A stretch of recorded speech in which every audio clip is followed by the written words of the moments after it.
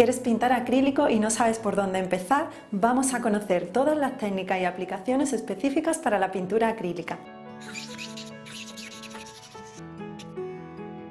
Hola, soy Alicia Gomar y estoy súper contenta por esta serie de vídeos que voy a comenzar ahora sobre el tema que lleváis mucho tiempo pidiéndome, acrílico, pintura acrílica y sobre todo orientada a retrato. Os voy a explicar las seis técnicas que yo utilizo más frecuentemente cuando hago retratos. En cada una de ellas vamos a ver qué materiales tenemos que utilizar, cómo aplicarlo, consejos prácticos y un ejemplo de los cuadros que yo he realizado con cada una de estas técnicas.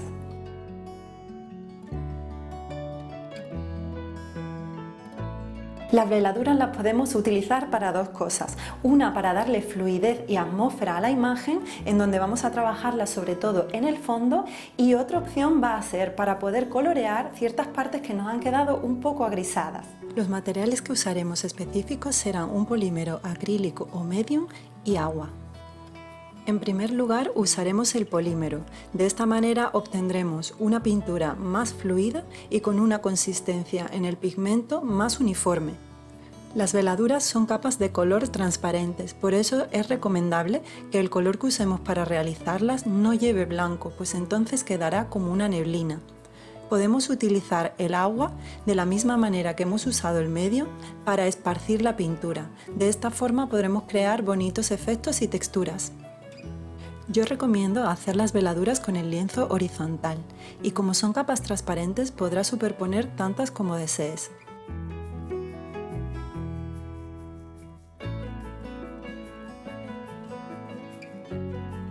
¿Cuándo usar el pincel seco en un retrato? Sobre todo lo vamos a usar para hacer texturas en las luces. He pedido a Tony prestado este cuadro porque él eh, trabaja mucho este recurso para crear degradados y fundidos, sobre todo cuando estamos colocando colores claros sobre un fondo más oscuro. Para realizar la técnica del pincel seco únicamente necesitaremos paletinas anchas. En esta ocasión utilizaremos la pintura sin nada de agua, pero eso sí, es conveniente usar una gran cantidad de pintura.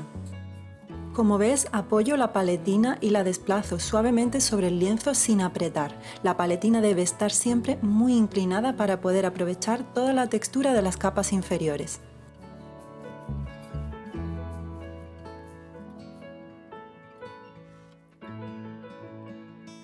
Los empastes son una solución o un recurso final que podemos utilizar para darle fuerza a determinadas zonas de nuestro cuadro.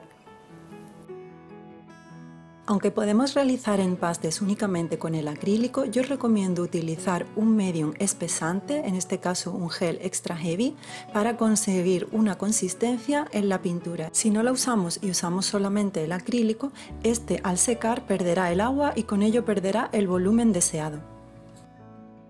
A mí me gusta mezclar el acrílico con el espesante con una espátula, pero también podrás utilizar un pincel. Con una pequeña cantidad de acrílico podrás teñir una gran cantidad de espesante, lo que te supondrá un buen ahorro.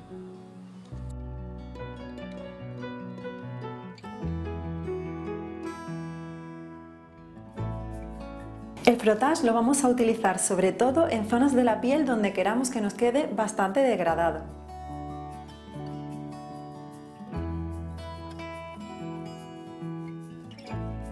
Para el frotage podemos utilizar cualquier brocha de pelo duro, pero te recomiendo que no uses tus mejores brochas, pues se estropean bastante al utilizar esta técnica.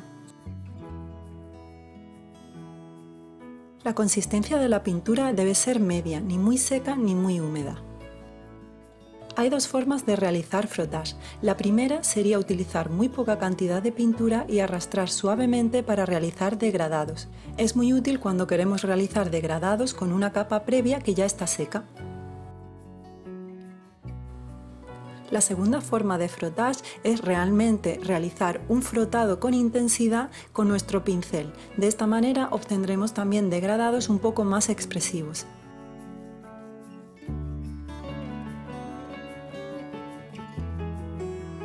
Si estamos realizando un retrato, lo más probable es que queramos realizar degradados. Para ello podemos utilizar agua, degradado con retardador o degradado mediante frotar o pincel seco.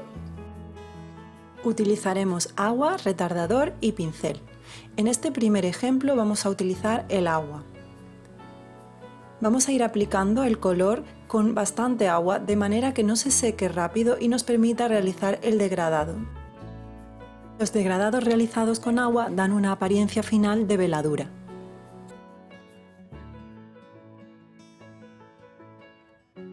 La segunda forma de realizar degradados es mediante el uso de retardador. No es necesario utilizar una gran cantidad de este, simplemente añadiremos una gotita a la mezcla que estemos utilizando. Aunque el uso del retardador hará que trabajes con más tranquilidad tus degradados, no es mala idea realizar previamente las mezclas que quieras luego utilizar en el degradado. Para mí el uso del retardador se ha vuelto indispensable a la hora de trabajar retrato realista con acrílico. También, como os comenté en el vídeo anterior en el que hablo de todos los materiales acrílicos que yo trabajo, es posible usar acrílicos que llevan incorporado el retardador. Otro truco es usar glicerina, esto hará que el tiempo de secado del acrílico sea mayor. Por último, el uso del frotage en los degradados nos vendrá muy bien cuando queramos degradar una capa con otra previa que ya esté seca. Para que el degradado con frotage quede bien, es importante que la presión de tu brazo sea constante y muy suave en el lienzo.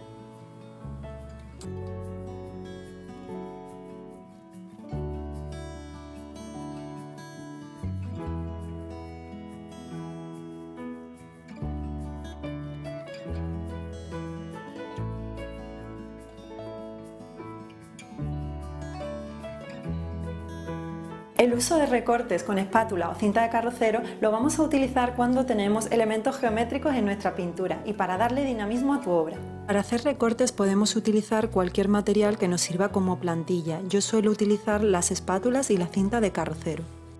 Con la cinta de carrocero podremos crear todo tipo de líneas rectas en nuestros cuadros.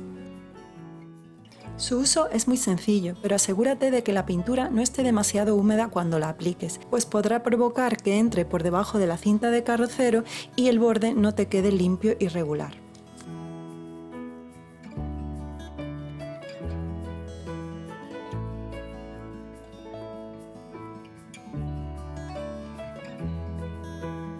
Las espátulas de carrocero son otra manera rápida de ayudarte a la hora de realizar líneas rectas en tu pintura.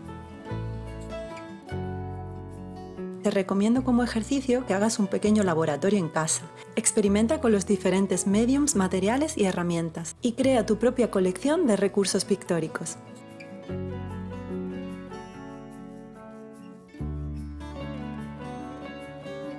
Hoy hemos visto las técnicas que yo uso más a la hora de hacer un retrato. Pero el acrílico es muy versátil y estos no son los únicos recursos que podemos utilizar con él. En otro vídeo veremos por ejemplo vertidos, dripping, técnicas que se pueden usar más en la pintura abstracta. Puedes optar por usar uno de estos recursos o la combinación de varios según los objetivos que quieras conseguir en tu retrato. Mi último consejo al final es experimenta y crea. Y si conoces alguna técnica más que yo no haya comentado en este vídeo, déjamelo en los comentarios y ayúdame a mejorar.